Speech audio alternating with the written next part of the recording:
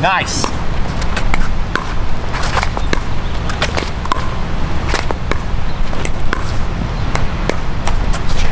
yeah. Oh man, nice. you know, so basically, even if we didn't have the cameras, yeah. I try to be your video camera. Yeah. Here's what I put up, feedback, and then you can take that and internalize it, and then you should be able to feel it. Right? But yeah, you definitely look more confident. It's, the ball is more consistent, but you look more confident, and uh, it's much better control. You control your feet better, controlling the paddle better, which obviously controls the ball better. Right. All right, we just finished a couple hours of pretty intense training. That was awesome. Thank you for spending the time with me today. Hey, you're welcome. I had fun. I enjoyed it. Yeah, that was great. I learned a lot of very valuable information, stuff that is definitely going to help me immediately.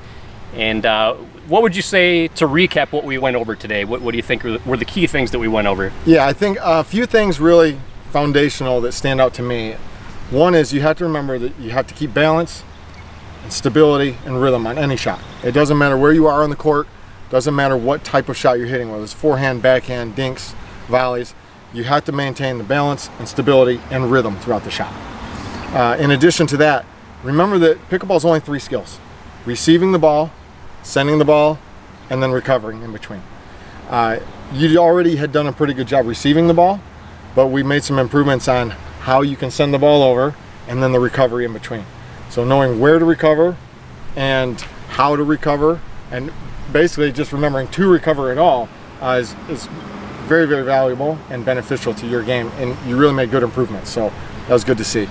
Uh, and finally, you know, we made an adjustment to the grip.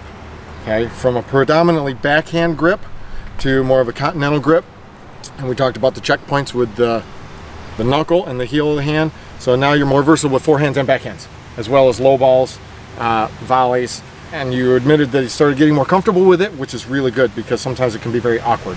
But uh, you know, credit to you for trying it first of all, and then getting comfortable with it. I think it's gonna be a huge benefit. Yeah, and it, it felt a little weird at first, but once I got used to it, I got to tell you, it definitely felt like I had, I had better control. I felt like I was returning the ball lower, yeah. and uh, I'm definitely gonna sure. definitely gonna stick with the continental grip because yeah. I, I, like the way that it felt, and uh, I definitely think it's gonna improve my game. Yeah, yeah, nothing wrong with the the backhand Eastern grip necessarily, but it's it's heavy on backhands. Uh, if we want to be more versatile, that continental grip is going to get you there. So uh, that's that would be the recommendation.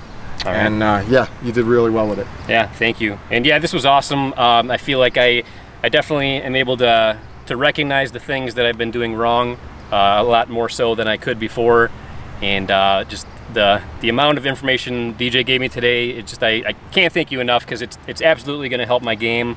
Um, now my uh, my next objective is to beat Eddie in the next Eddie versus right. Webby match. That's right. That's what this is all about. Oh yeah, for sure. And I feel like with what I learned today, there is absolutely no reason why I shouldn't be successful in that mission. So it's really all on me now to implement everything that we went over today.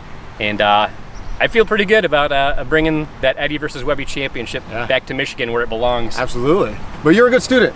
Um, oh, thank you. now it's just a matter of putting in the time and getting some repetitions. Like I say, keep repping.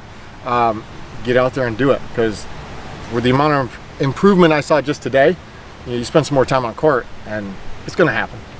Absolutely. But yeah, DJ, thank you very, very much. Can't thank you enough. Uh, but that's going to do it for today. So until next time, this is Webby, not Eddie, signing off. Pickleball addicting and fun, that's no joke. Pickleballing, it's not just for old folks. Pickleball. Pickleball.